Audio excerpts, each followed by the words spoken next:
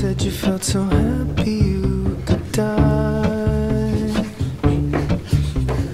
I told myself that you were right for me.